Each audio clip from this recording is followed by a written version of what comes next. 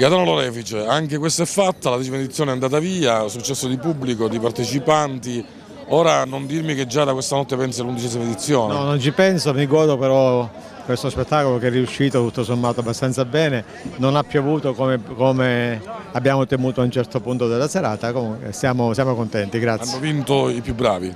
Secondo me sì, ma ce n'erano tanti altri che avrebbero vinto un'altra edizione ci fosse stata, ma purtroppo oggi, quest'anno erano concentrati i migliori talenti della Sicilia, credimi. Quando si taglia il decimo traguardo c'è sempre una dedica particolare. No, io questa, questo festival lo dedico soltanto e semplicemente ai miei collaboratori più stretti che sono alla fin fine la mia famiglia eh, nessun altro, credimi, nessun altro. Facciamo... Tutta sincerità credevo che dicessi tua moglie, non l'hai detto subito, però va bene uguale? No, no, perché c'è anche mia figlia che ci dà una mano. La loro bravura ha alzato il livello del, del decimo Festival del Golfo.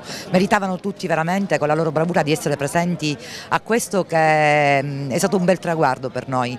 Poche manifestazioni a Gela mm, hanno questa durata, si fermano tutti al secondo o terzo anno. Noi siamo riusciti ad arrivare al decimo benissimo grazie alla testardaggine, alla caparbietà di mio marito che per l'organizzazione del festival è instancabile.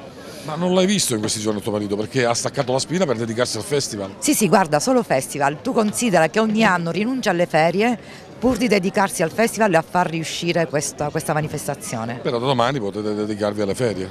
Ma insomma, da domani no, ma ad ottobre ci penseremo.